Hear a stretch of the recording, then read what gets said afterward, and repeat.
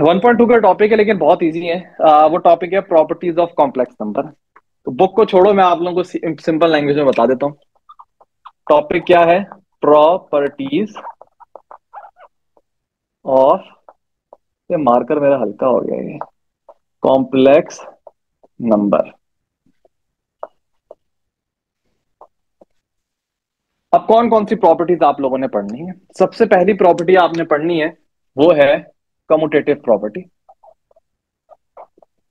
अब सवाल यह है कि कम्यूटेटिव प्रॉपर्टी कहते हैं किसको? है याद रखो जो ये प्रॉपर्टीज़ है ना रियल नंबर के अंदर भी होती है कॉम्प्लेक्स नंबर के अंदर भी होती है। रियल नंबर की बात करते हैं आपको खुद ही बात समझ आ जाएगी कॉम्प्लेक्स नंबर पहले आते हैं।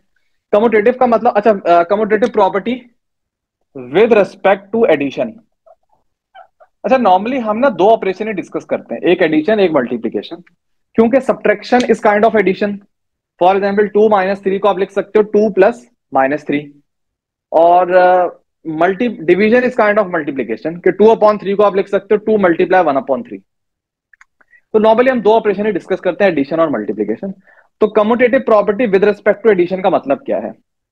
कम्यूटेटिव प्रॉपर्टी में होता है कि बिलफर्ड आपके पास पहली बात आपको दो नंबर चाहिए, ठीक है? अब मैटर नहीं करता, आप उन दो नंबर को किस ऑर्डर में ऐड करो? आप टू प्लस थ्री करो या आप थ्री प्लस टू करो? बात एक ही होती है। ठीक है? इसी तरह फॉर एग्ज़ाम्पल आप कोई भी दो नंबर ले लो फॉर एग्ज़ाम्पल माइनस फोर और टेन ले लेते हैं। अब माइनस फोर प्लस टेन करो, या टेन माइनस फोर करो मैटर नहीं करता आंसर जो है वो आपको सेम मिलेगा। तो इसको हम कहते हैं कमोटेटिव प्रॉपर्टी यही प्रॉपर्टी आप कॉम्प्लेक्स नंबर के अंदर भी ले आओ, कि मैं Z1 को Z2 के अंदर ऐड करूँ, या मैं Z2 को Z1 के अंदर ऐड करूँ, एक ही बात है। कोई फ़र्क नहीं पड़ेगा इससे। ठीक है? तो कॉम्प्लेक्स नंबर इस प्रॉपर्टी को सेटिस्फाई कर रहे होते हैं। अगर आप चाहो, मैं शुरू में एग्ज़ाम्पल दे देता हूँ, बाकी फिर आप लोग खुद ही एग्ज़ाम्पल लेट करते जाना हर प्रॉपर्टी में। For example a complex number लेते हैं हम जेड वन को वन प्लस थ्री आयोटा और हम जेड टू को लेते हैं two plus three iota for example या चेंज कर लेते हैं फोर आयोटा अब मैटर नहीं करता, आप इनको किस ऑर्डर में मल्टीप्लाई कर सो ऐड कर रहे हो। आप Z one plus Z two करो या Z two plus Z one करो, एक ही बात है। तो आप पहले इसको लिखने की ज़रूरत नहीं है। हम क्या करते हैं वन प्लस थ्री आयोटा को ऐड करते हैं टू प्लस फोर आयोटा में। और यहाँ पे हम टू प्लस फोर आयोटा को ऐड करते हैं वन प्लस थ्री आयोटा में। तो ऑर्डर मैटर नहीं कर रहा, किस ऑर्डर में मैं ऐड कर रहा हूँ? आपको नज़र भी आ जाएगा। वन को टू में ऐड करो थ्री थ्री आयोटा को फोर में करो सेवन आयोटा टू को वन में ऐड करो थ्री फोर आयोटा को थ्री में करो सेवन आयोटा तो ये आप देख रहे हो कि बात प्रूव हो रही है। इसका मतलब प्रॉपर्टी क्या है? ऑर्डर मैटर नहीं करता z one plus z two करो, या z two plus z one करो। इसी तरह commutative property with respect to sorry multiplication ठीक है? विद रिस्पेक्ट टू अगर मल्टीप्लीकेशन की बात करो तो अगेन आप Z1 को Z2 से मल्टीप्लाई करो, या Z2 को Z1 से करो, कोई फ़र्क नहीं पड़ेगा। और ये आप लोग खुद प्रूफ करके देख लेना। One plus three iota multiply two plus four iota answer निकाल लेना। इसी तरह two plus four iota multiply one plus three iota ये मैटर नहीं करता आपने किस ऑर्डर में मल्टीप्लाई किया। एट दी एंड दोनों रिज़ल्ट जो है ये आपस में बराबर होंगे। सही? अब आ जाओ दूसरी प्रॉपर्टी पे। दूसरी प्रॉपर्टी कहलाती है एसोसिएटिव प्रॉपर्टी एसोसिएटिव प्रॉपर्टी का मतलब ये होता है अगेन वही associative property with respect to addition अच्छा एसोसिएटिव प्रॉपर्टी में ब्रैकेट के ऑर्डर्स होते हैं। ब्रैकेट के ऑर्डर्स का मतलब फॉर एग्ज़ाम्पल आप Z1 को ऐड करो, इसमें जरा गौर से देख लो, मैं फ़र्क क्या है इसमें।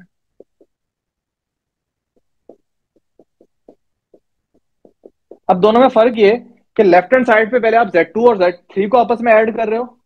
जो रिज़ल्ट आ रहा है, उसको Z1 में ऐड कर रहे हो। ये चीज़ बराबर होगी कि पहले आप Z1 और Z2 को आपस में ऐड कर लो और जो रिज़ल्ट है उसको Z3 में ऐड कर लो। की बात है। मैटर नहीं कर रहा ना आपने किस ऑर्डर पहले इन दो को सॉल्व किया और इसको ऐड किया Z1 में, फिर इन दो को सॉल्व किया और ऐड किया उसको Z3 में। दोनों से आंसर सेम ही आएँगे।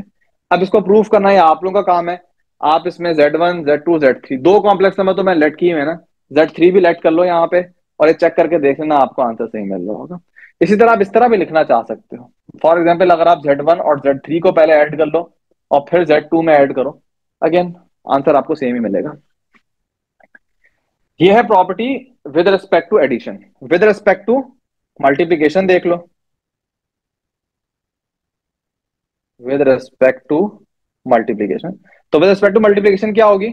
कि आप पहले Z2 और Z3 को मल्टीप्लाई करो। ब्रैकेट का मतलब बॉड मास में क्या बोला था कि ब्रैकेट पहले आपने सॉल्व करनी है। तो Z2 और Z3 को मल्टीप्लाई करो। जो रिज़ल्ट आए, उसको Z1 से मल्टीप्लाई करो। ये बराबर है कि पहले आप Z1 और Z2 को मल्टीप्लाई कर लो और जो रिज़ल्ट आए, उसको Z3 से मल्टीप्लाई कर देना। अगर ये प्रॉपर्टी प्रूफ कर लेना। कोई मुश्किल प्रॉपर्टी नहीं है। तीन कॉम्प्लेक्स नंबर लेट करो। और बुक में मेरे ख्याल में प्रूफ भी हुई भी है। तो वहाँ से आपको आसानी से मिल जाएगा ये। ठीक है? अब तीसरी प्रॉपर्टी पे आ जाओ। उसको हम कहते हैं distributive property distributive distributive property again वही बात डिस्ट्रीब्यूटिव प्रॉपर्टी में क्या होता है? इसको हम बोलते हैं मल्टीप्लीकेशन ओवर एडिशन अब इसका मतलब क्या जरा बताता हूँ। फॉर एग्ज़ाम्पल आप लोग ये काम बचपन से करते हुए आ रहे हो क्या?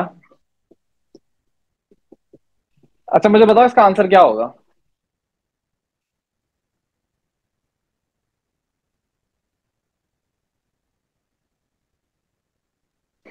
Two x plus two y. इतनी देर क्यों लग गई तुम लोगों को बताने में? Simple two x plus two y. ये distributive property of multiplication over addition ही आप लगा रहे हो। क्या मतलब है इसका? आप यहाँ पे पहली बार डिस्ट्रीब्यूशन कर रहे हो। आपको देखने में लग रहा है आप डिस्ट्रीब्यूट कर रहे हो। किसको? मल्टीप्लीकेशन ओवर एडिशन ओवर का मतलब होता है जिसको आप तोड़ रहे हो। फॉर एग्ज़ाम्पल ये प्लस था ना। आपने मल्टीप्लीकेशन जो ब्रैकेट के अंदर होता है ये समझ लो ओवर एडिशन उसके हिसाब से होता है। मल्टीप्लीकेशन ओवर एडिशन मतलब ये मल्टीप्लाई रहा है ओवर एडिशन इसको हम बोलते हैं distributive property of multiplication over addition और बिलफर्ज अगर ये चीज़ होती आ, क्या कह सकता हूँ इसको? बिलफर्ज अगर ये लिखा होता एक्स प्लस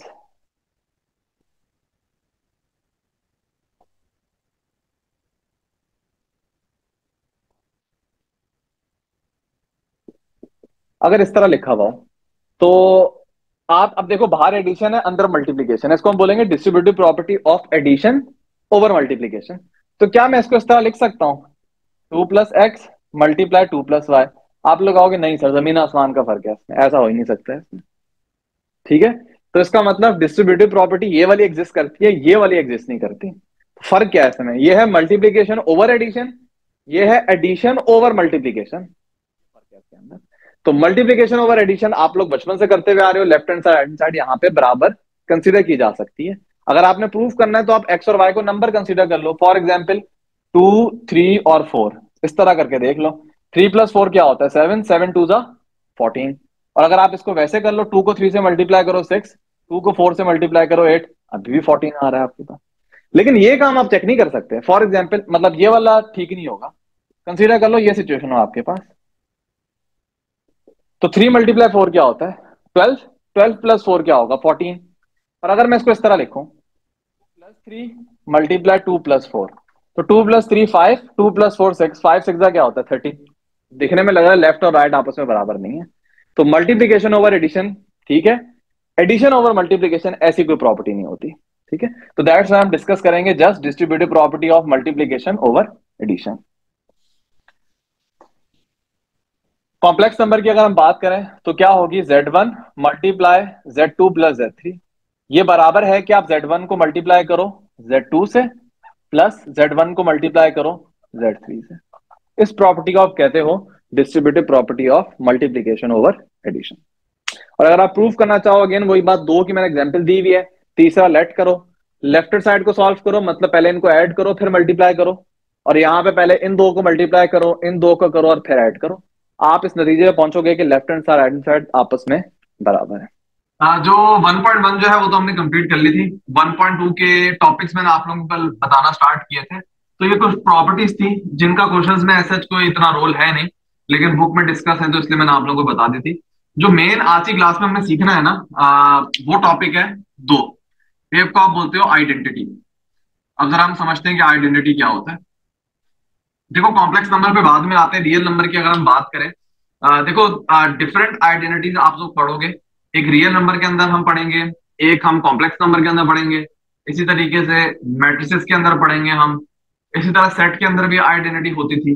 तो ये आइडेंटिटी का कॉन्सेप्ट हर आपको सेट में नज़र आएगा। चाहे वो कॉम्प्लेक्स नंबर का हो, चाहे वो रियल नंबर का हो, चाहे वो मैट्रिसेस का हो, चाहे सेट हो लिस्ट ऑफ़ नंबर जो होती है सेट वाला टॉपिक आप लोगों के पास है नहीं। पर तो आइडेंटिटी होता क्या? आइडेंटिटी की बेसिक डेफिनेशन आप लोगों को पता होनी चाहिए। मैंने लास्ट क्लास में ये बताया था कि नॉर्मली आप दो ऑपरेशन ही डिस्कस करते हो। एडिशन और multiplication subtraction is kind of addition और division is kind of multiplication तो आपका फोकस होता है एडिशन और मल्टीप्लीकेशन के ऊपर। तो अगर हम एडिशन के रिस्पेक्ट से बात करते हैं आइडेंटिटी का कॉन्सेप्ट क्या है? एडिशन छोड़ो। आइडेंटिटी का कॉन्सेप्ट ये होता है कि जब आप उस नंबर को किसी नंबर के साथ ऑपरेट करवाओगे, क्या मैंने बात बोली? जब आइडेंटिटी को आप किसी नंबर से ऑपरेट करवाओगे, अब ऑपरेट का क्या मतलब है? भाई आप ऐड करवाते हो उनको मल्टीप्लाई करवाते हो, कोई भी ऑपरेशन आप परफॉर्म करते हो तो आइडेंटिटी जो है ना, वो उस नंबर को चेंज नहीं करेगी। फॉर एग्ज़ाम्पल एग्ज़ाम्पल देखते हैं आप ज़ीरो को किसी भी नंबर में ऐड करवा दो, उस नंबर को कोई फ़र्क नहीं पड़ेगा। ज़ीरो को आप टू में ऐड करवा दो, ज़ीरो को फोर में ऐड करवा दो, ज़ीरो को टेन में ऐड करवा दो, उस नंबर को कोई फ़र्क नहीं पड़ेगा। तो हम ये बात बोलेंगे कि ज़ीरो जो है, वो एक आइडेंटिटी है, क्योंकि वो नंबर के अंदर कोई फ़र्क पैदा नहीं कर रही, और किसके रेस्पेक्ट से आइडेंटिटी है? एडिशन के रेस्पेक्ट से आइडेंटिटी। कि ज़ीरो को जब ऐड करोगे तो नंबर को फ़र्क नहीं पड़ना। ज़ीरो को अगर मल्टीप्लाई कर दिया तो नंबर का तो बेड़ वर्क हो जाएगा ना। तो एडिशन के रेस्पेक्ट से ज़ीरो क्या है? आइडेंटिटी अब जरा मल्टीप्लीकेशन के रेस्पेक्ट से बात करते हैं। आप लोगों के जहन में ऐसा नंबर आ रहा है कि जिसको हम किसी भी नंबर से मल्टीप्लाई करें उस नंबर को कोई फ़र्क नहीं पड़ेगा? वन एक्सलेंट वन जो है वो मल्टीप्लीकेटिव आइडेंटिटी है। क्यों? वन को आप किसी भी नंबर से मल्टीप्लाई कर दो उस नंबर को कोई फ़र्क नहीं पड़ेगा। तो यहाँ से हमने दो बातें सीखी कि एक होती है additive identity with respect to addition क्या आइडेंटिटी है? और एक होती है multiplicative identity with respect to multiplication क्या आइडेंटिटी है? तो ज़ीरो जो है वो एडिटिव आइडेंटिटी कहलाती है और कहलाता है या कहलाती है, देख लेना आप लोग। और वन जो है वो मल्टीप्लीकेटिव आइडेंटिटी है। अभी तो मैंने रियल नंबर के अंदर बात की है ना, इसी को कॉम्प्लेक्स नंबर के अंदर लेकर आते हैं। ज़ीरो और वन इसको कॉम्प्लेक्स नंबर की फॉर्म में लिख दो। भाई कॉम्प्लेक्स नंबर की फॉर्म में अगर मैं आपको बोलूँ ज़ीरो को लिखो तो कैसे लिखोगे कॉम्प्लेक्स नंबर की फॉर्म में? सोचो। ज़ीरो को ऐसा कॉम्प्लेक्स नंबर की फॉर्म में लिखना है।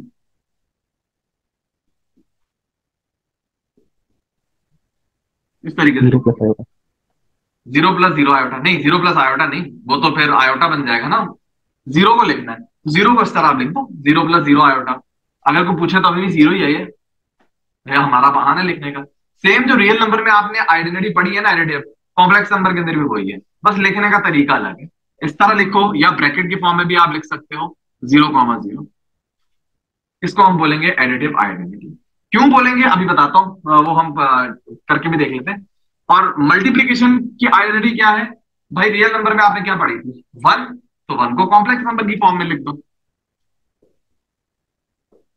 वन को कॉम्प्लेक्स नंबर की फॉर्म में कैसे लिखेंगे? वन प्लस ज़ीरो और ब्रैकेट की फॉर्म में आप क्या लिखोगे? वन कॉमा ज़ीरो ये दोनों जो है, ये एडिटिव और मल्टीप्लीकेटिव आइडेंटिटी ये क्यों? कैसे पता चला? इसलिए मुझे पता चला कि बिलफर्स मेरे पास कोई भी एक कॉम्प्लेक्स नंबर है ए कॉमा बी मैं उसके अंदर जब ज़ीरो कॉमा ज़ीरो को ऐड करूँगा तो ए को ज़ीरो में ऐड करो ए ही रहेगा। बी को ज़ीरो में ऐड करो बी रहेगा। इसका मतलब जब मैं इसको किसी भी कॉम्प्लेक्स नंबर के अंदर ऐड करूँगा तो उस कॉम्प्लेक्स नंबर को कोई फ़र्क नहीं पड़ रहा। एज इट इज़ वो अपनी जगह पे मौजूद है। इसका मतलब ये जो आपके सामने लिखा हुआ है, ये एडिटिव आइडेंटिटी इसी तरीके से आप किसी भी कॉम्प्लेक्स नंबर को अगर मल्टीप्लाई करोगे वन कॉमा ज़ीरो से, ठीक है? तो मल्टीप्लीकेशन परफॉर्म करके देख लो। आप जो मैंने फॉर्मुला बताया था मल्टीप्लीकेशन का, वो जरा फॉर्मुला परफॉर्म करके देखना, इसका आंसर जो है वो ए कॉमा बी आ रहा है। तो वन कॉमा ज़ीरो ऐसा कॉम्प्लेक्स नंबर है, जिसको आप किसी भी कॉम्प्लेक्स नंबर से मल्टीप्लाई करवाओ, उसको कोई फ़र्क नहीं पड़ रहा होता। तो हम ये बोलेंगे वन कॉमा ज़ीरो क्या है? आइडेंटिटी है, लेकिन किसके रिस्पेक्ट से? मल्टीप्लीकेशन के रिस्पेक्ट तो ये वाला कॉन्सेप्ट क्लियर हुआ है सबको? Yes, सवाल है तो पूछ लो। इसी तरह जब हम मैट्रिसेस पढ़ेंगे ना तब भी मैं आप लोगों को आइडेंटिटी और दूसरा टॉपिक क्या होता है इनवर्स से बताऊँगा उस नेक्स्ट चैप्टर मैट्रिसेस के। लिए। अच्छा अब आ जाओ इनवर्स के ऊपर। इनवर्स क्या होता है? अगेन वही बात दो कॉन्सेप्ट आपने डिस्कस करने एक है एडिटिव और एक है मल्टीप्लीकेटिव तो सवाल एक है एडिटिव अच्छा इसको हम इस तरह बोलते हैं एडिटिव आइडेंटिटी और ये होगा मल्टीप्लीकेटिव आइडेंटिटी पूरा लिख लेना। इसी तरीके से बॉल आगे अच्छा एडिटिव इनवर्स इसी तरीके से हम पढ़ेंगे मल्टीप्लीकेटिव इनवर्स अभी तक किसी को तो पता नहीं होगा वैसे इनवर्स का। किसी को पता है इनवर्स का क्या कॉन्सेप्ट होता है? नहीं चलो बता देता हूँ। इनवर्स का कॉन्सेप्ट ही होता है। कोई बोलना चाह रहा है। सर एडिटिव इनवर्स में तो हम दोनों के साइन चेंज कर देते हैं ना। यानी प्लस बताया। माइनस कॉन्सेप्ट और पता है का क्यों साइन चेंज करते हैं? सर ये तो नहीं पता लेकिन सर, यही तो चीज़ है असल हमें करना आता है क्यों कर रहे हैं? ये बड़ा इंपॉर्टेंट सवाल होता है। मैंने बताया ना हमारी अपब्रिंगिंग यही होती है कि भाई ये चीज़ ऐसे हो रही है। आप ये नहीं बोल सकते कि क्यों हो रही है। क्यों जो है वो मना है हमें पूछना मैं बताता हूँ कि क्यों नेगेटिव से मल्टीप्लाई करते हैं। बताया तुमने सही है, बिल्कुल। इनवर्स का कॉन्सेप्ट क्या कॉन्सेप्ट समझ लो, खुद ही समझ आ जाएगा आपको क्या होता है। इनवर्स अच्छा एक जहन में रखना, ये जो आइडेंटिटी होता है ना, ये एक ही होती है। पूरे कॉम्प्लेक्स नंबर के अंदर एडिटिव आइडेंटिटी एक ही है। ये कॉम्प्लेक्स नंबर पूरे कॉम्प्लेक्स नंबर के सेट में एडिटिव आइडेंटिटी एक ही होती है। इसी तरह, पूरे कॉम्प्लेक्स नंबर के सेट में मल्टीप्लीकेटिव आइडेंटिटी एक ही होती है। तो आइडेंटिटी यूनिक होती है, एक होती है हमेशा। जबकि इनवर्स जो है ना, वो हर कॉम्प्लेक्स नंबर का अलग होता है। एक कॉम्प्लेक्स नंबर का इनवर्स अलग होगा, दूसरे का इनवर्स अलग होगा, तीसरे का अलग होगा। तो ये जरा आइडेंटिटी और इनवर्स में जरा समझ लो कि इनवर्स हर कॉम्प्लेक्स नंबर का अलग अलग होता है, जबकि आइडेंटिटी सब कॉम्प्लेक्स नंबर की एक ही है। ठीक है? अब एडिटिव इनवर्स का मतलब क्या है? एडिटिव इनवर्स का मतलब ये है कि बिलफर्ज अगर एक कॉम्प्लेक्स नंबर है, मैं उस कॉम्प्लेक्स नंबर को ऐसे किस कॉम्प्लेक्स नंबर में ऐड करूँ? कि रिज़ल्ट में मेरे पास आइडेंटिटी आ जाए। दोबारा बताता हूँ। मेरे पास एक कॉम्प्लेक्स नंबर है ए कॉमा बी मैं इस कॉम्प्लेक्स नंबर को ऐसे किस कॉम्प्लेक्स नंबर में ऐड करूँ कि रिज़ल्ट में मेरे पास आइडेंटिटी आ जाए? Identity with respect to positive क्या होती है? ज़ीरो कॉमा ज़ीरो ये डेफिनेशन है। अब ये आप लोगों का काम है ढूंढना कि मैं इसमें ऐसा कौन सा कॉम्प्लेक्स नंबर ऐड करूँ कि रिज़ल्ट में मुझे आइडेंटिटी मिल जाए। तो यहाँ पे एक्यूरेट जवाब क्या होगा? कि सर यहाँ पे आप माइनस ए माइनस बी ये इसके अंदर ऐड कर दें। जब आप इसको इसके अंदर ऐड करोगे a minus a zero b minus b zero तो इसका मतलब ये जो नंबर आपने ऐड किया है ना, इसको आप क्या बोलोगे? इनवर्स बोलोगे। तो इनवर्स का कॉन्सेप्ट क्या है? उस इनवर्स को जब आप कॉम्प्लेक्स नंबर में ऐड करते हो तो रिज़ल्ट में आपको क्या मिलता है?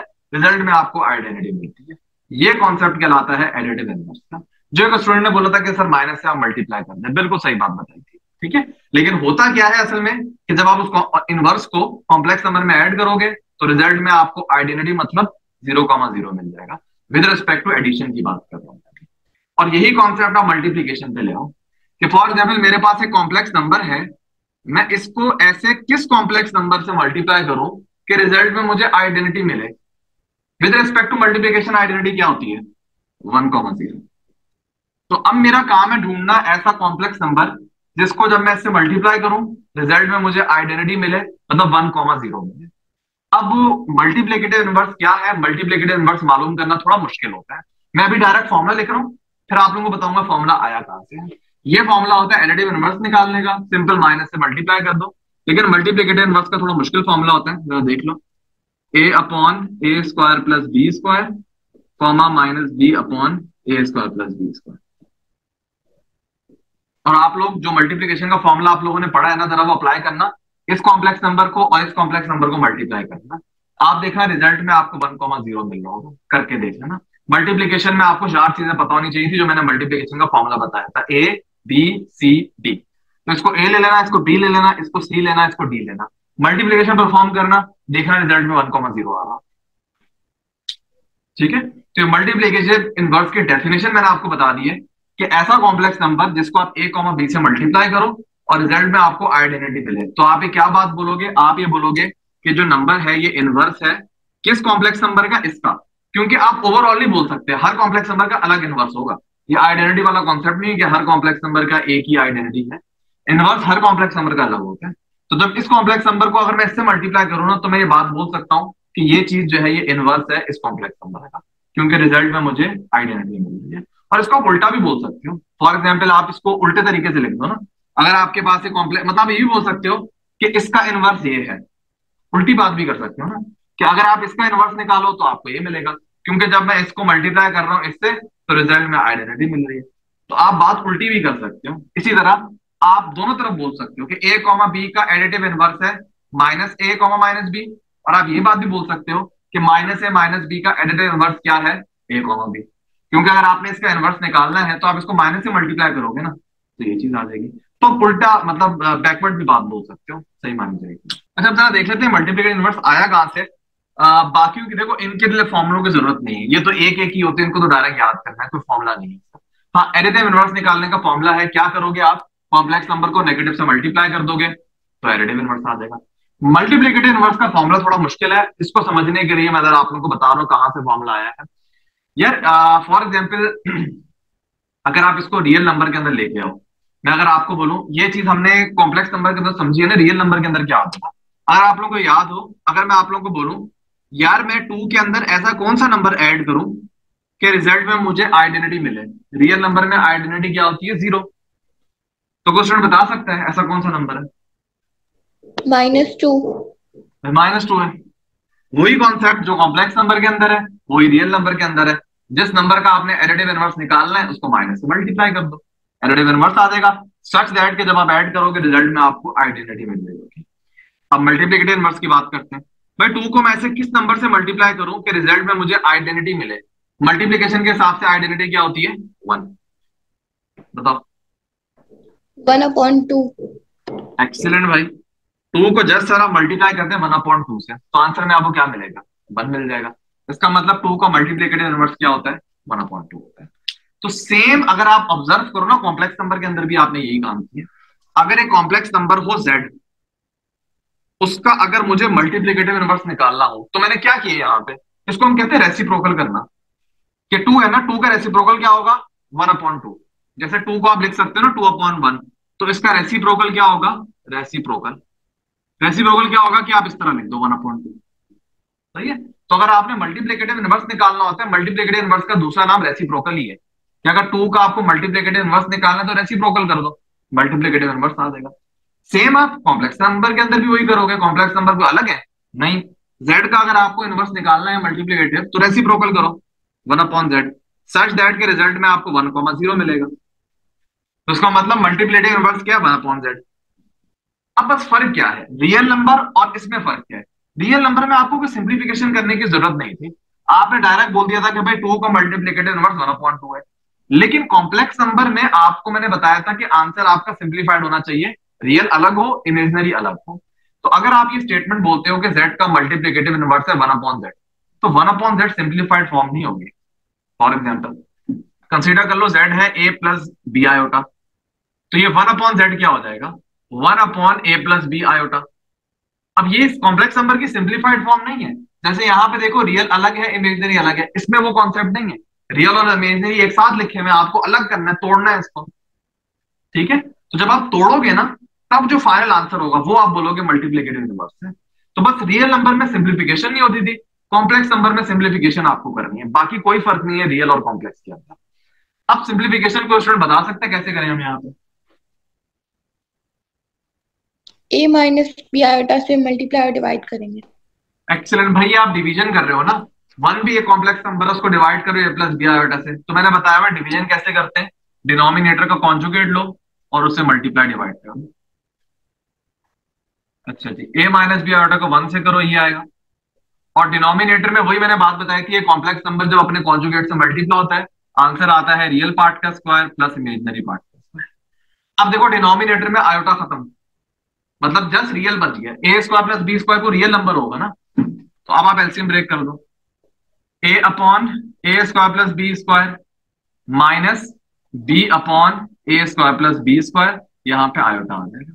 चाहो तो इस माइनस को बी के साथ लिख दो, दरमियान में पॉजिटिव लगा दो। अगर आप ऑब्ज़र्व करो, वही वाला फॉर्मूला जो मैंने वहाँ पे लिखा। ब्रैकेट की फॉर्म में कन्वर्ट करोगे तो वही चीज़ आ जाएगी ठीक है? तो मल्टीप्लीकेटिव इनवर्स निकालने का तरीका आप लोगों ने देख लिया। अब आप लोगों के पास दो मेथड है। अगर आपको बोला जाए ना, किसी कॉम्प्लेक्स नंबर का आपको मल्टीप्लीकेटिव इनवर्स निकालना है तो दो तरीके से आप निकाल सकते हो। एक क्या है? अभी एक्सरसाइज आएगी ना, तब मैं करवा दूँगा। अभी करवाऊं, फिर टाइम ज़्यादा हो जाएगा दोबारा। अभी आज इंशाल्लाह हम करेंगे। तो अगर कोई कॉम्प्लेक्स नंबर लिखा हुआ है ना, उसका आपको मल्टीप्लीकेटिव इनवर्स निकालना है। तो दो तरीके से आप निकाल सकते हो। बेसिकली तीन तरीके कह लो। तीसरा तरीका भी हम पढ़ेंगे, लेकिन फ़िलहाल अभी दो तरीके देख लो। एक तरीका क्या है? कि आप डायरेक्ट फॉर्मुला यूज़ कर लो। बिलफर्स कॉम्प्लेक्स नंबर है, आपके पास टू कॉमा थ्री तो ए टू है बी थ्री है। आप डायरेक्ट इस फॉर्मुले में पुट करो ए और बी की वैल्यू जो आंसर आएगा, आप बोलना ये मल्टीप्लीकेटिव है और दूसरा तरीका यह कि विलफर्स टू कॉमा थ्री का मल्टीप्लीकेटिव इनवर्स निकालना है ना। टू प्लस थ्री आयोटा का। तो मल्टीप्लीकेटिव इनवर्स क्या होगा? One upon two plus three iota फिर यही काम करना सॉल्व करना इनवर्स आ जाएगा। इसमें फॉर्मूला यूज़ नहीं किया आपने। और इस दूसरे मेथड में आप फॉर्मूला यूज़ कर रहे हो। तो दोनों तरीके से आप सवाल कर सकते हो। एक तीसरा मेथड भी है, वो इंशाल्लाह जब क्वेश्चन नंबर फाइव आएगा वन पॉइंट टू का वो मैं तब आप लोगों को बता दूँगा। वो भी निकालने का तरीका होगा। ठीक है? और एडिटिव इनवर्स का तो एक ही बात है, एक ही फॉर्मूला मतलब माइनस से मल्टीप्लाई करना है आपने। तो वो तो कोई ऐसा फॉर्मूला नहीं है जो अलग से करने की ज़रूरत है। तो एक ही तरीका है एडिटिव इनवर्स का। मल्टीप्लीकेटिव इनवर्स थोड़ा आप दो तरीकों से, तीन तरीकों से निकाल सकते हो देखेंगे ठीक है? यहाँ तक कोई सवाल किसी का? तो मसला है, यहाँ तक तो पूछ लो। अच्छा। अब बच्चों, कुछ प्रॉपर्टीज़ लिखी हुई है, इससे रिलेटेड आप लोगों के पास सवाल भी आएँगे आई गेस वो जरा मैं बता देता हूँ कौन कौन सी प्रॉपर्टीज़ है, समझा देता हूँ आप लोगों को। पेज नंबर कौन सा है? पेज नंबर ट्वेल्व के ऊपर लिखी हुई है। सबसे पहली प्रॉपर्टी है, उसको याद रखो। ये मॉडुलस कॉन्जुगेट उससे रिलेटेड कुछ प्रॉपर्टीज़ है। क्या प्रॉपर्टी है सबसे पहली? कि अगर आप z का मॉडुलस लो माइनस जेड का लो z कॉन्जुगेट का लो या माइनस जेड कॉन्जुगेट का मॉडुलस लो। सबका मॉडुलस सेम ही होगा। क्या मतलब इसका? होता बच्चों ये है कि कॉम्प्लेक्स नंबर अगर आप कोई लेट करो ना for example two plus three iota तो इसका मॉडुलस क्या होता है? बताओ जल्दी से मॉडुलस क्या होता है square root a square plus b square real part का स्क्वायर प्लस इमेजनरी पार्ट का स्क्वायर उसका रूट लेना अब अगर वो कॉम्प्लेक्स नंबर खुद है या कॉम्प्लेक्स नंबर को आप नेगेटिव से मल्टीप्लाई कर दो मतलब एडिटिव इनवर्स निकालो। माइनस से जब मल्टीप्लाई करोगे तो जगह minus two minus three iota अब क्या होगा? सेम ही रहेगा। भाई, असल में स्क्वायर है ना, पहले आप कर रहे थे टू का स्क्वायर और थ्री का स्क्वायर अब जब इसका मॉडुलस निकालोगे तो अब क्या करोगे? माइनस टू का स्क्वायर माइनस थ्री का स्क्वायर लेकिन बात तो एक ही है, आप माइनस टू और माइनस थ्री का स्क्वायर करो या खाली टू और थ्री का स्क्वायर करो आंसर आपको सेम मिलेगा। इसी तरीके से जेड कॉन्जुगेट जेड कॉन्जुगेट क्या होता है? ये जेड है, इसका कॉन्जुगेट क्या हो जाएगा? टू प्लस थ्री आयोटा का conjugate two minus three iota again जब आप इसका मॉडुलस निकालोगे तो वही रियल पार्ट का स्क्वायर और इमेजनरी पार्ट का स्क्वायर रियल पार्ट अब टू है इमेजनरी अब माइनस थ्री है। कोई फ़र्क नहीं पड़ेगा, अभी भी आपको सेम ही आंसर मिलेगा।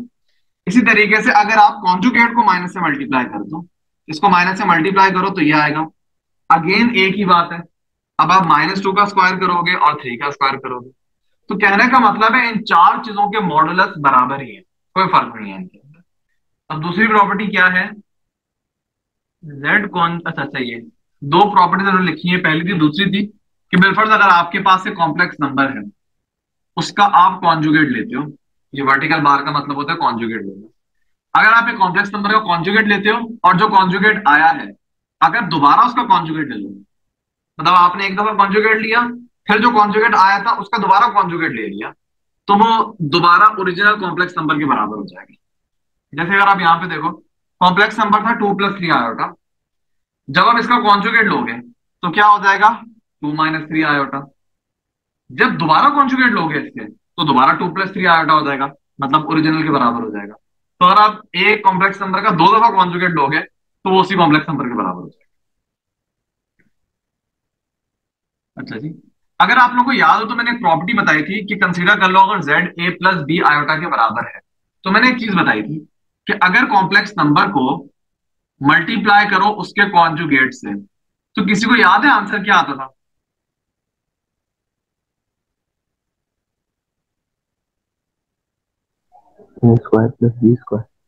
एक्सीलेंट भाई।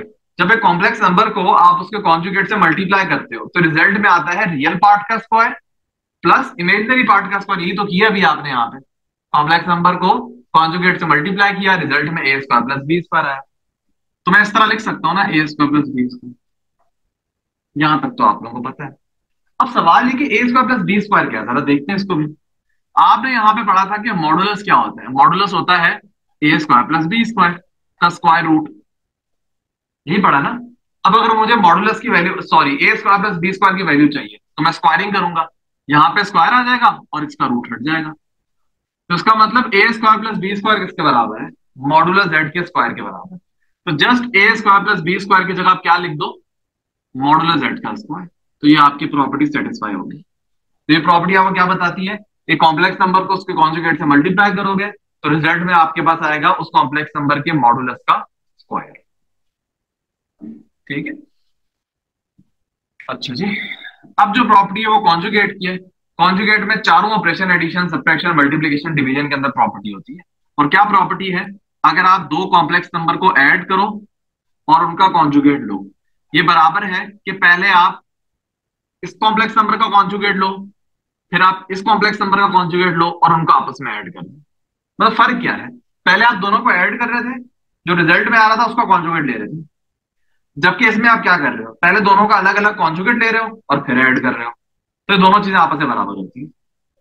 मैं एक चीज़ प्रूफ करवा दूँगा, बाकी आप लोग खुद कर लेना इसी तरह, अगर आप दो आपको सब्ट्रैक्ट करो और फिर कॉन्जुगेट लो, ये बराबर है कि पहले दोनों का कॉन्जुगेट ले लो और फिर सब्ट्रैक्ट कर लो इसी तरह, अगर आप दो कॉम्प्लेक्स नंबर को मल्टीप्लाई कर रहे हो और मल्टीप्लाई करने के बाद आप कॉन्जुगेट ले रहे हो सॉरी मैंने डिवीज़न लिख दी अगर आप दो कॉम्प्लेक्स नंबर को मल्टीप्लाई कर रहे हो और उसके बाद आप कॉन्जुगेट ले रहे हो, ये बराबर है कि आप पहले Z1 का कॉन्जुगेट लो और फिर Z2 का कॉन्जुगेट लो और उनको आपस में मल्टीप्लाई कर लो।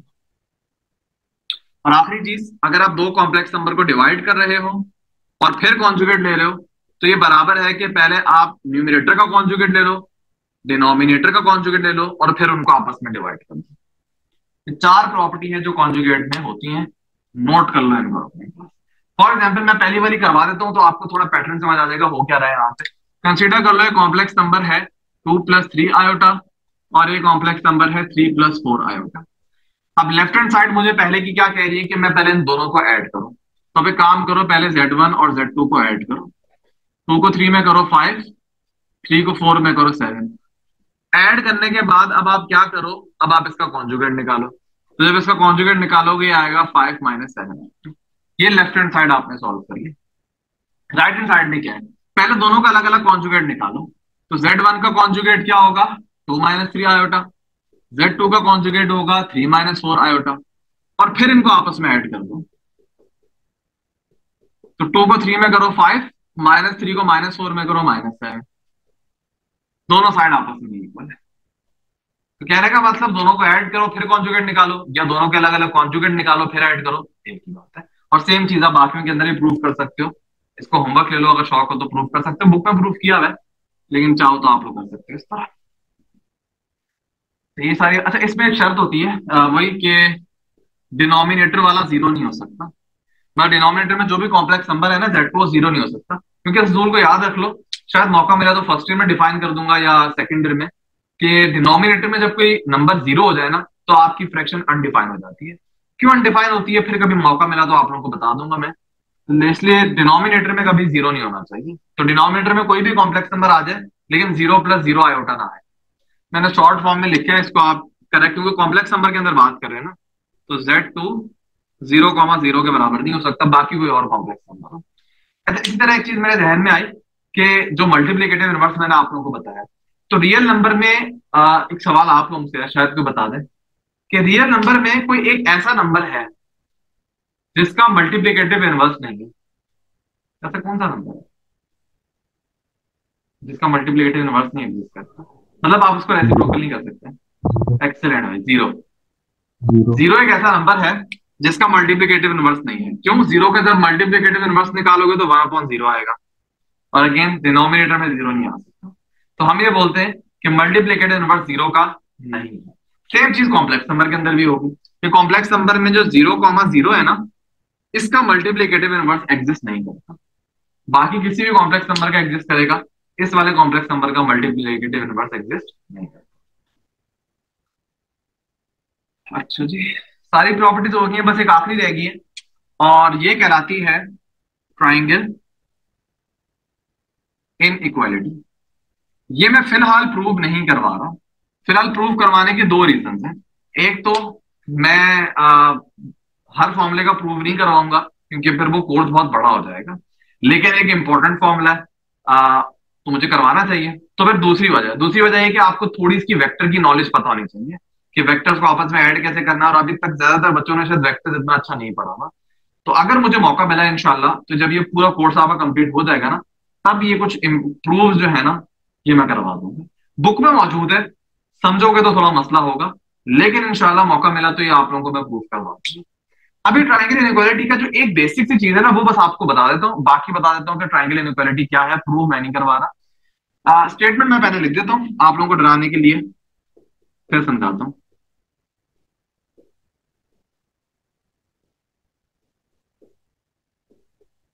ये स्टेटमेंट है। और इस स्टेटमेंट को प्रूव करने के लिए एक बेसिक कॉन्सेप्ट हमने लगाया। वो कॉन्सेप्ट क्या है? वो कॉन्सेप्ट ट्राइंगल से रिलेटेड है। कि बिल्कुल अगर ट्राइंगल की तीन साइड है ना कंसीडर कर लो, इस साइड की लेंथ को मैं ए बोल रहा हूँ, इसकी बी और इसकी सी तो याद रखो, जब भी आप ट्राइंगल में किसी दो साइड की लेंथ को ऐड करते हो तो वो हमेशा ग्रेटर होती है तीसरी साइड की लेंथ से। फॉर एग्ज़ाम्पल ये तो ट्राइंगल दिखने में आपको लगेगा कि जब मैं ए और बी को ऐड करूँगा इन दोनों साइड को तो डेफिनेटली वो ग्रेटर होंगे सी से। ये तो आपको देखने में लग रहा है ना? लेकिन कोई अजीब सा ट्राइंगल हम बनाते हैं। अजीब सा ट्राइंगल मतलब कोई ऑप्यूज ट्राइंगल बनाते हैं। आप इस ट्राइंगल के अंदर भी देख लो। आप इसको ए बोल दो, इसको बी बोल दो, इसको सी बोल दो। यहाँ पे भी बात सेटिस्फाई हो रही है। कोई भी दो साइड लो आप। लेकिन यहाँ पे अगर आप देखो ना तो बी और सी को मैं लूँगा, वो तो डेफिनेटली ए से ग्रेटर ही है। इसी तरह ए और सी को ऐड करूँगा तो वो भी बी से ग्रेटर आएगी। लेकिन तीसरी चीज़ जो है, उसमें थोड़ी कंफ्यूजन हो सकती है। कि अगर मैं ए और बी को ऐड करूँ, क्या वो सी से ग्रेटर होगा? बिल्कुल ग्रेटर होगा। हमेशा दो साइड ट्राइंगल की अगर आप उनको सम करो तो वो तीसरी साइड से हमेशा ग्रेटर होती है। यहाँ पे अगर आप ए और बी की लेंथ को ऐड करो डेफिनेटली वो सी से ग्रेटर होगी। तो इस प्रॉपर्टी का इस्तेमाल करके आपने ट्राइंगल इनक्वालिटी जो है ना, इसको प्रूव किया। ठीक है? प्रूफ में नहीं जाते, हल्का फुल्का देख लेते हैं कि इनक्वालिटी क्या है? कि Z1 प्लस Z2 दो कॉम्प्लेक्स नंबर को आपने ऐड किया और उसके बाद उनका मॉडुलस लिया। ये चीज़ लेस है या इक्वल है? किसके? कि आप दोनों का अलग अलग मॉडुलस लो और फिर उनको आपस में ऐड कर दो। और ये चीज़ जो है, ये ग्रेटर है या इक्वल है किसके? कि आप दोनों कॉम्प्लेक्स नंबर का अलग अलग मॉडुलस लो और उनको आपस में सेपरेट कर दो। आज बच्चों एक्सरसाइज 1.2 और कुछ बेसिक सवाल होंगे वो मैं समझा दूँगा फिर आप लोग लेना। वो 4.2 कह रहा हूँ। 1.2 अच्छा जी। लिखा हुआ let Z one Z two Z three और नीचे लिखा हुआ वेरीफाई द फॉलोइंग अब मैं एक करवा दूँगा, बाकी आप लोगों का काम है, क्योंकि सब काम मैंने आप लोगों को प्रॉपर्टीज़ में समझाया मैं सबसे पार्ट वन में लिखा हुआ addition of complex number is commutative आपको प्रूफ करना है कि कॉम्प्लेक्स नंबर में जो एडिशन होती है, वो कमोटेटिव होती है। तो आपने कोई भी दो कॉम्प्लेक्स नंबर को पिक करना है, क्योंकि देखो जो कम्यूटेटिव प्रॉपर्टी मैंने आप लोगों को बताई थी ना लास्ट क्लास में, उसके लिए दो कॉम्प्लेक्स नंबर की ज़रूरत होती है। और जो एसोसिएटिव प्रॉपर्टी है, उसके लिए तीन कॉम्प्लेक्स नंबर की ज़रूरत पड़ती है तो एसोसिएटिव और डिस्ट्रीब्यूटिव प्रॉपर्टी इनके लिए तीन कॉम्प्लेक्स नंबर की ज़रूरत पड़ती है दैट्स वन उन्होंने तीन कॉम्प्लेक्स नंबर दिए हैं। जबकि कम्यूटेटिव के लिए कोई भी दो कॉम्प्लेक्स नंबर की ज़रूरत पड़ती है। तो पार्ट नंबर वन और पार्ट नंबर टू में आपको कम्यूटेटिव प्रॉपर्टी प्रूव करनी है। एक में विद रिस्पेक्ट टू एडिशन एक में विद रिस्पेक्ट टू मल्टीप्लीकेशन तो कोई भी दो कॉम्प्लेक्स नंबर पिक करना और आप प्रूव करके दिखा सकते हो। जबकि part three part four part five में तीनों कॉम्प्लेक्स नंबर आप पिक करोगे और उनको एसोसिएटिव और डिस्ट्रीब्यूटिव प्रॉपर्टी प्रूव करके दिखाओगे। मैं जल्दी से रफ में करके दिखा देता हूँ, ठीक है? ताकि फेयर स्टेप में थोड़ा टाइम मेरा बच जाए, बाकी तो चलो एक में फेयर करवा देता हूँ आप लोगों को। कंसीडर कर लो क्वेश्चन नंबर वन का पार्ट नंबर टू करवा देते हैं। विद रिस्पेक्ट टू मल्टीप्लीकेशन तो काफ़ी इजी हो जाएगा ये। तो आपके दो कॉम्प्लेक्स नंबर पिक कर लो। Z one three minus four iota और Z two four plus five iota और पूरा प्रूव करनी है आपको कम्यूटेटिव प्रॉपर्टी किस रेस्पेक्ट से? विद रेस्पेक्ट टू मल्टीप्लीकेशन ये आपको प्रूव करनी है। तो प्रॉपर्टी जरा बता देते हैं प्रॉपर्टी होती क्या है? प्रॉपर्टी ये है कि अगर Z1 को मैं Z2 से मल्टीप्लाई करूँ, या Z2 को मैं Z1 से मल्टीप्लाई करूँ, एक ही बात है। ऑर्डर मैटर नहीं करता, मैं किस ऑर्डर में मल्टीप्लाई कर रहा हूँ? इसको आप कमोटेटिव प्रॉपर्टी कहते हो। अब जरा शो करके दिखाओ कि left hand side right hand side के बराबर है। ये हो जाएगा three minus four iota multiply four plus five iota और यहाँ पे हो जाएगा four plus five iota multiply three minus four iota three four जा ट्वेल्व थ्री को फाइव से करो फिफ्टीन माइनस फोर को इससे करो माइनस सिक्सटीन आयोटा और माइनस फोर को माइनस फाइव से करोगे तो माइनस ट्वेंटी और आयोटा को आयोटा से करोगे तो आयोटा सेम यहाँ पे भी कर लेते हैं.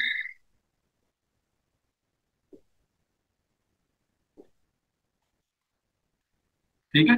अच्छा अगेन आयोटा स्क्वायर मैंने बताया था माइनस वन के बराबर होता है। तो इस माइनस को इस माइनस से मल्टीप्लाई करोगे पॉजिटिव हो जाएगा ट्वेंटी हो जाएगा ये। तो ट्वेल्व और ट्वेंटी क्या होता है? थर्टी टू और ये जो है, ये माइनस आयोटा हो जाएगा।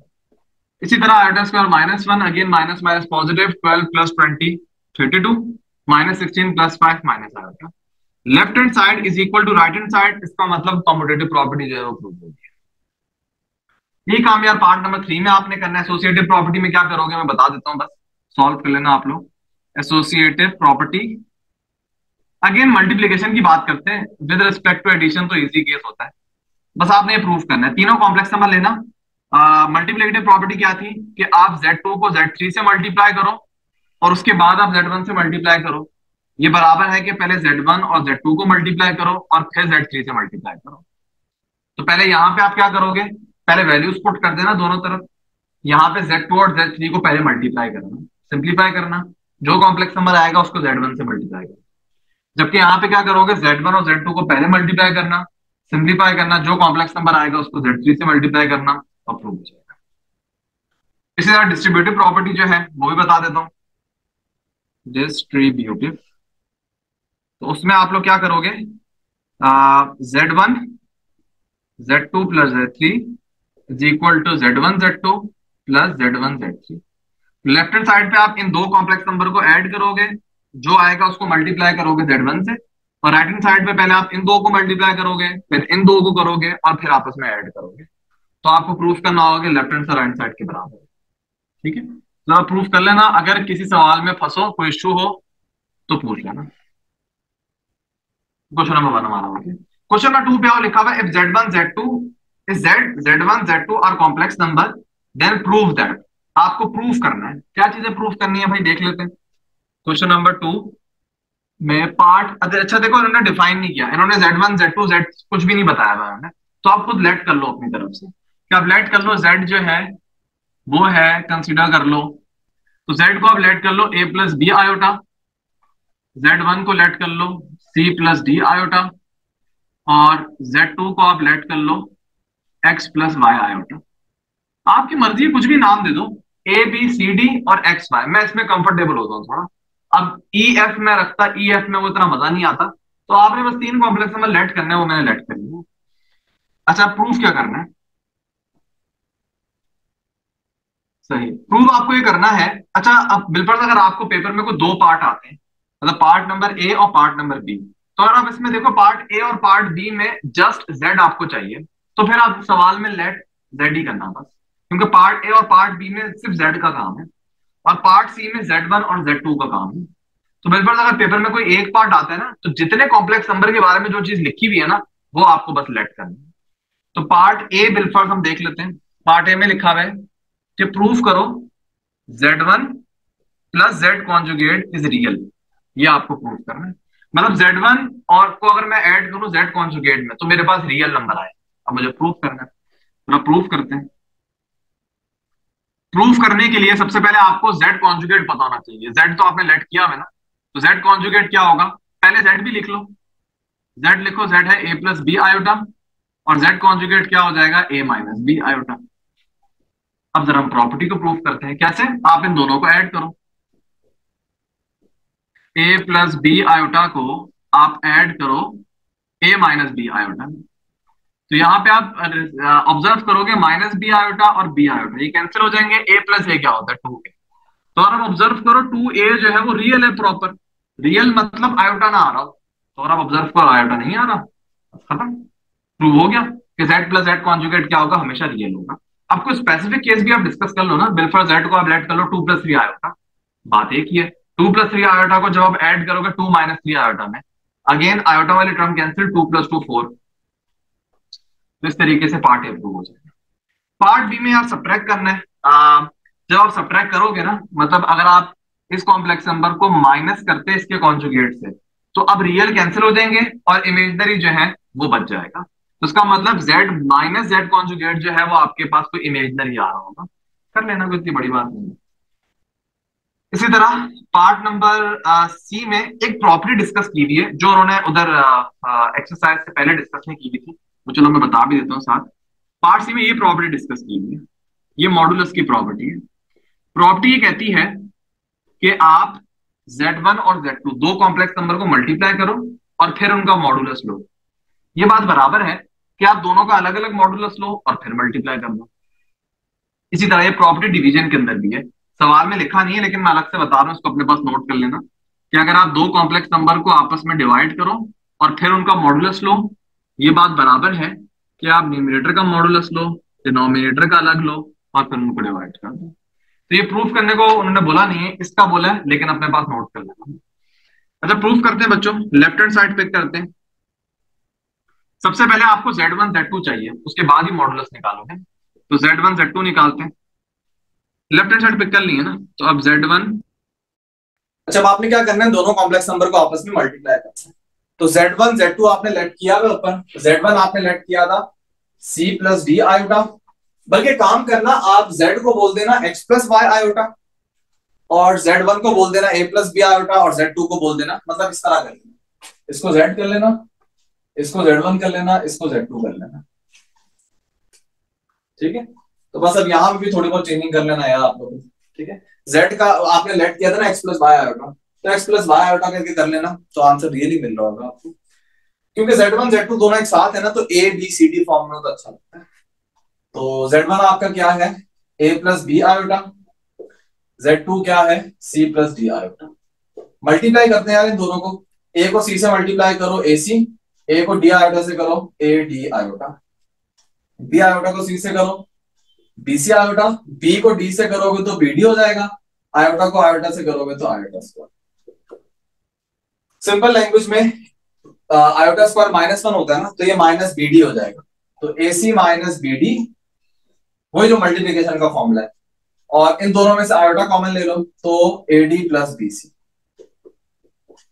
ये आपके पास आया है जेड वन जेड टू अब आपने क्या करना है, इसका मॉडुलस लेना है। ठीक है? तो हम मॉडुलस ले लेते हैं। जेड वन जेड टू का मॉडुलस क्या होगा? A C minus B D का होल स्क्वायर मतलब रियल का स्क्वायर प्लस इमेजनरी का स्क्वायर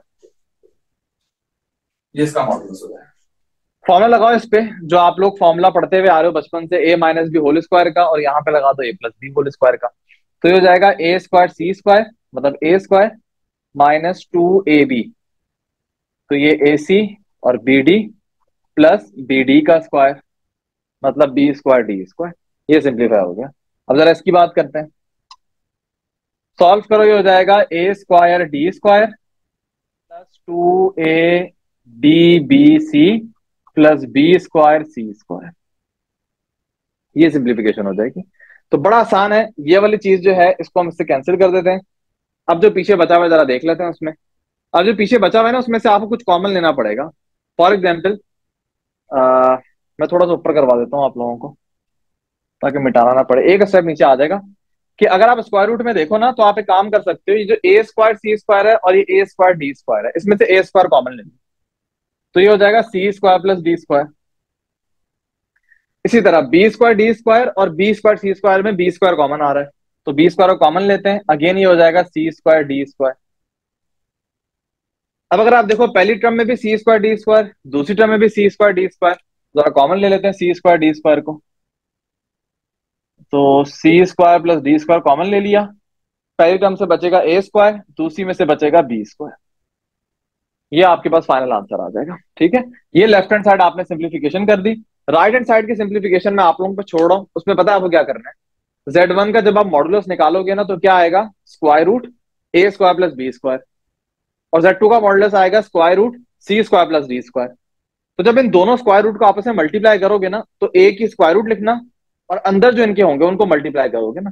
तो एक में अंदर में आ रहा होगा A square plus B square एक में आ रहा होगा C square plus D square तो एग्जैक्ट यही फॉर्म बन रही होगी। तो वहाँ पे प्रूव हो जाएगा left hand side is equal to right hand side अब आ जाओ बच्चों क्वेश्चन नंबर टू हमारा हो गया। क्वेश्चन नंबर थ्री में देखो तो क्वेश्चन नंबर थ्री और फोर बच्चों, ऐसा कोई चीज़ नहीं है जिसको हमने सॉल्व करना है।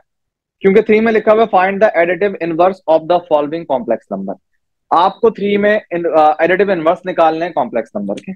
तो बिलफर्स मुश्किल वाले पार्ट तो मैं चलो वैसे वबली बता दूँगा स्टेप जरा देख लो। पहली बात, ये सवाल एमसीक्यूज में ही आएगा। पेपर में इस तरह आएगा नहीं कि आपको एडिटिव इनवर्स मालूम करना होगा। तो बिलफर्स पार्ट नंबर वन लेते हैं। पार्ट नंबर वन में लिखा हुआ है थ्री प्लस फाइव होता। ये इसको हम फॉर एग्ज़ाम्पल नाम दे देते हैं कि let Z equal to three plus five होता।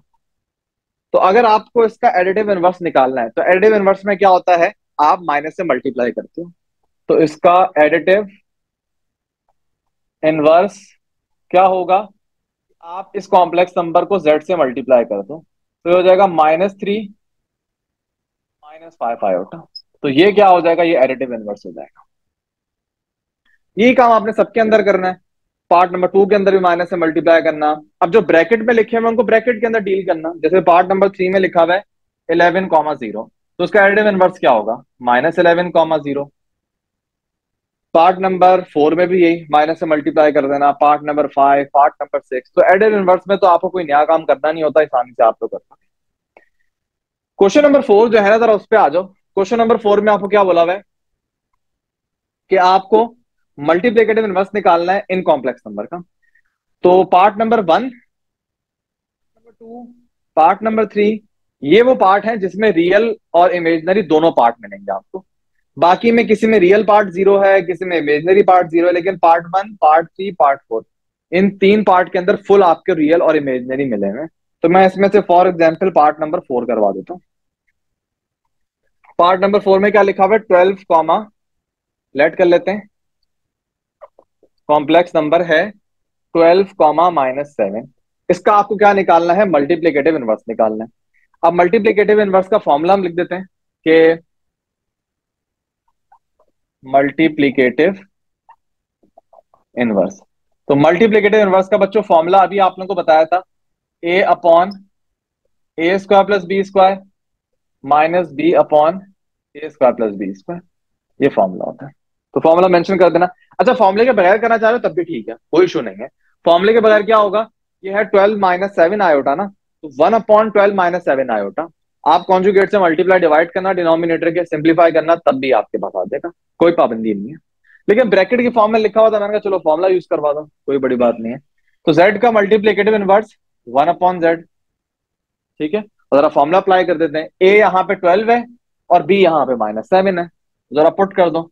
ए की जगह पे ट्वेल्व डिनोमिनेटर में क्या है? ट्वेल्व का स्क्वायर और बी क्या है? माइनस सेवन का स्क्वायर फिर है माइनस बी माइनस और बी यहाँ पे क्या है? Minus seven divided by again वही. ए स्क्वायर बी स्क्वायर अब बस सिंप्लीफिकेशन करो बच्चों. ये हो जाएगा twelve upon one forty four plus forty nine twelve का स्क्वायर वन फोर्टी फोर होता है. और ये हो जाएगा minus minus positive seven upon one forty four plus forty nine final step क्या है? ऐड करो इसमें 153 हो जाएगा तो 193 12 अपॉन 193 7 अपॉन 193 ये आपके पास बच्चों इस कॉम्प्लेक्स नंबर का मल्टीप्लीकेटिव इनवर्स आ जाएगा. तो कोई भी सवाल आपके पास लिखा हो, आपके पास टेक्निक है सिंपल आप ये फॉर्मुला यूज़ करके सॉल्व कर सकते हो. अच्छा अब बिलफर्स पार्ट नंबर टू को देखो. पार्ट नंबर टू में लिखा हुआ just eight iota eight iota का जब आप इनवर्स निकालोगे तो अगर आप फॉर्मुला यूज़ नहीं करो तो वैसे इनवर्स हम कैसे निकालते हैं? सिंपल रेसिप्रोकल करते हैं ना? ये। इसको आप थोड़ा सिंप्लीफाई करना है आपने। और इसकी सिंप्लीफिकेशन क्या होगी? मैंने पहले भी बताया था डिनोमिनेटर से आयोटा हटाना होता है। तो आयोटा कैसे हटाओगे? आयोटा से मल्टीप्लाई डिवाइड करोगे।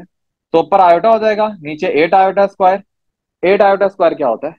आयोटा स्क्वायर माइनस वन होता है ना? तो ये हो जाएगा आयोटा अपॉन माइनस एट जिसको सिंप्लीफाई करके इस तरह भी लिख सकते हो minus one upon eight iota तो एट आयोटा का मल्टीप्लीकेटिव इनवर्स हो जाएगा minus one upon eight iota manually भी कर सकते हो और फॉर्मुले में भी पुट कर सकते हो. फॉर्मुले में अगर करोगे तो क्या होगा? इस कॉम्प्लेक्स नंबर को इस तरह लिख सकते हो. ज़ीरो कॉमा एट क्योंकि रियल ज़ीरो है और इमेजनरी इसका एट है. तो इस फॉर्म में आप कर सकते हो.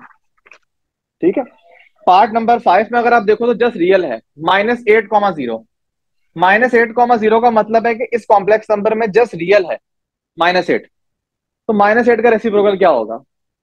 One upon minus eight. कोई सिंप्लीफाई करने की ज़रूरत ही नहीं है। क्योंकि जब कॉम्प्लेक्स नंबर है प्योर रियल तो आपने जैसे रेसिप्रोकल करना है उसको तो आंसर आ जाएगा वन अपॉन माइनस एट। चाहो तो आप फॉर्मुला अब पेपर में अगर सवाल आ रहा है बिलफर्ड पेपर में क्योंकि पैटर्न चेंज होगा ना बिलफर्ड पेपर में वो दे देंगे मल्टीप्लीकेटिव इनवर्स निकालो और दो पार्ट या तीन पार्ट दिए हुए हो। तो तब कोशिश करना, ये वाली टेक्निक यूज़ ना करो फॉर्मुला यूज़ कर लो फॉर्मुले में वैल्यूज़ पुट करके दिखाओ और जो आंसर आ रहा होगा क्या देने का ये आंसर आ रहा है। ठीक है?